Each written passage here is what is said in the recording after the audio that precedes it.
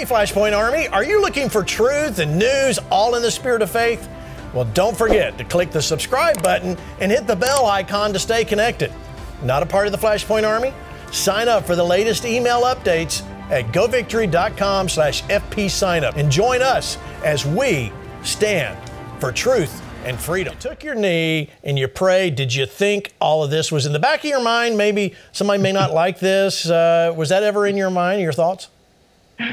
Yeah, you got to be kidding me. I mean, something so simple as a 30 second prayer of being thankful what the players just did on a football field, and that was going to become, you know, become this uh, nationwide thing. Are you kidding me? I'm just thanking God and ex- exercising my rights as an American. It, it seems so simple to me.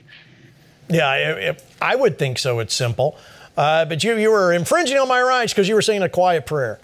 Yeah, it was crazy. It's ridiculous. So good. So tell us, uh, tell us the process. I want to hear from you personally. You find yourself fired. Uh, what were you thinking at that point? I really thought it was just going to be something that was just a huge misunderstanding. I mean, really, somebody just saying a prayer of thanks that that shouldn't be um, even newsworthy or, or anything anybody would ever get in trouble for. And I thought it was a big misunderstanding. And until it, the lawyers got involved for the school district, I, I thought this was just all going to blow over. And First Liberty Institute, they came in and said, hey, these are your rights as an American, which just, it really just justified exactly what I was doing.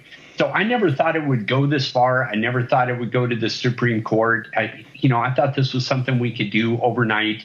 Uh, you know, by the next football game, I thought I'd be back on the football field, thanking sure. God and and helping my players out. It's so ridiculous to see this in America here in 2023.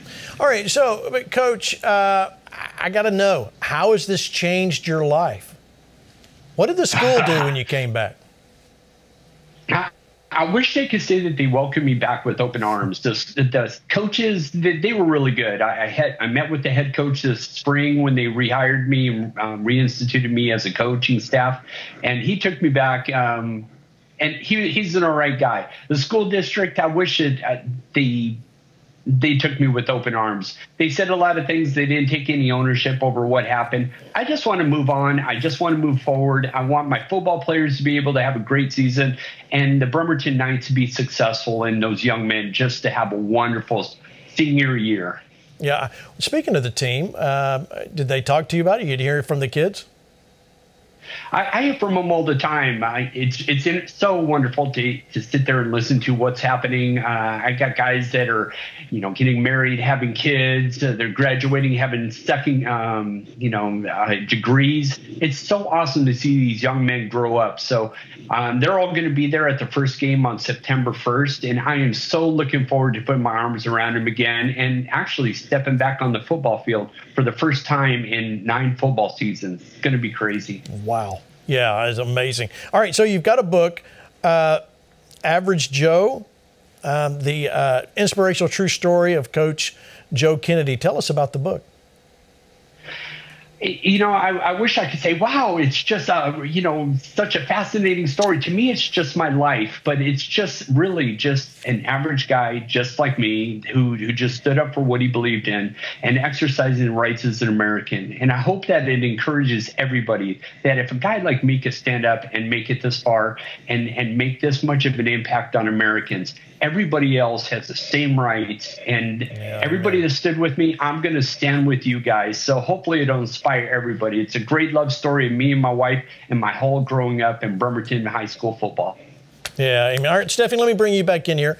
Uh, you know, when we this whole case, what were some of the challenges uh, First Liberty had to overcome with this case? Well, the biggest one was the legal precedent that had been in place for nearing 50 years.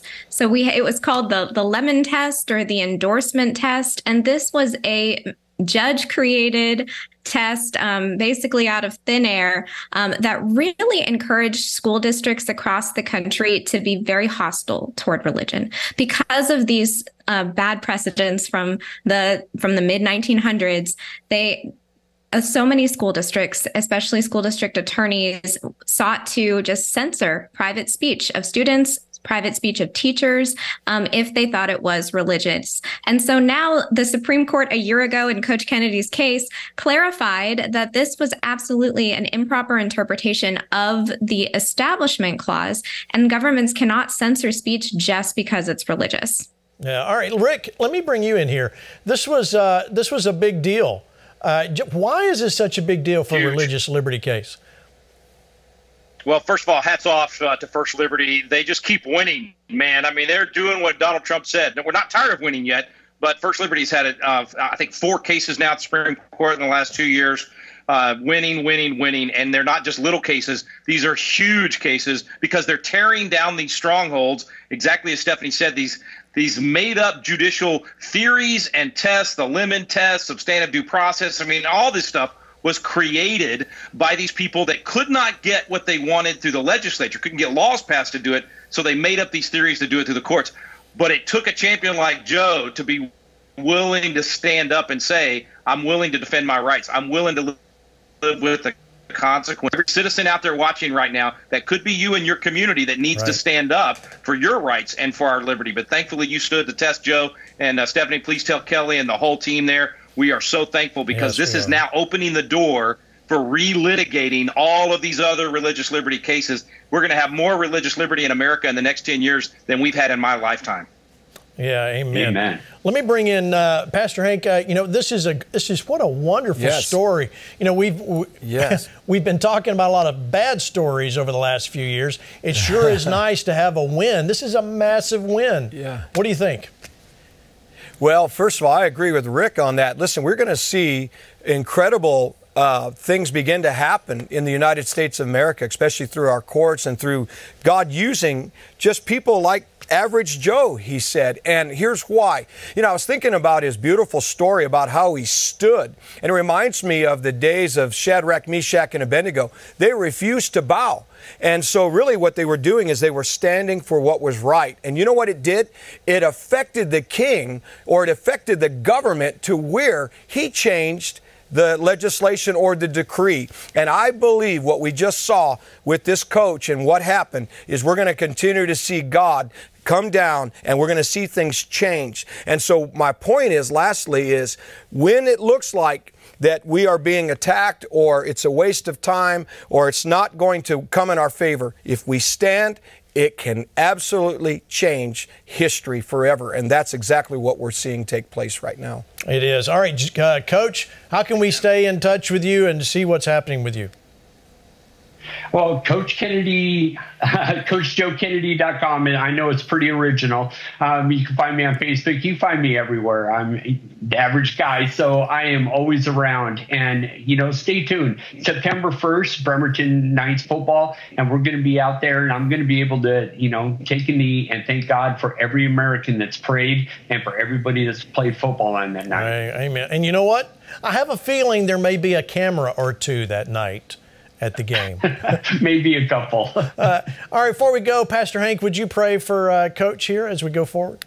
Sure, I love football. So, hey, Father, we thank you for this man who stood, and may he represent to others in this great country who are standing and feeling as though that God, that they're under some kind of attack or some kind of unfair persecution. May his story be a testimony that rises in this land, that brings the justice and the righteousness of God for not only this time, but for generations to come. I pray that you continually bless this man for his stance, bless his team, and I also pray that you would continue to use him powerfully to encourage others other coaches and others to begin to call on the name of the Lord and to include you, God, in this country that gives us the freedom and the right to pray and to talk with you. So thank you for your hand of blessing upon him and upon this great country. Thank you, Lord, for what you did, and we celebrate you in Jesus' name.